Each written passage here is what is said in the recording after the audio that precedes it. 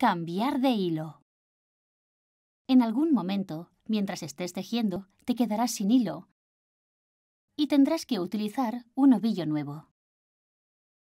Pero no debes anudar los cabos sin más. Hay técnicas especiales para cambiar de hilo con pulcritud.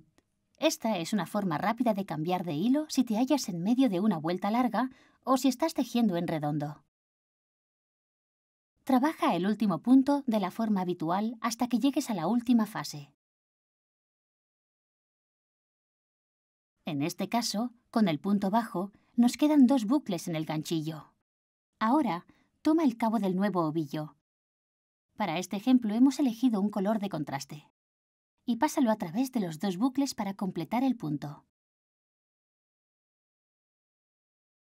Sujeta ambos cabos en la parte trasera del borde superior y trabaja los siguientes puntos bajos sobre ellos. Los cabos de hilo quedarán así incluidos entre los puntos de forma limpia y no tendrás que rematarlos. Puedes recortar los extremos al final.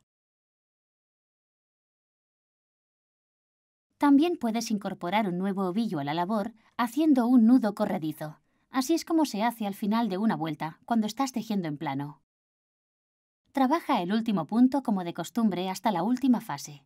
En este caso, con el bajo, nos quedarán dos bucles en el ganchillo. Haz el nudo corredizo a 20 centímetros del extremo del nuevo hilo.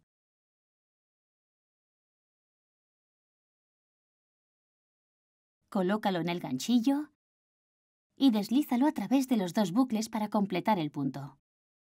Suelta el hilo anterior. Gira la labor y sigue trabajando con el nuevo ovillo. Cuando hayas terminado, remata los puntos por detrás de dos vueltas diferentes.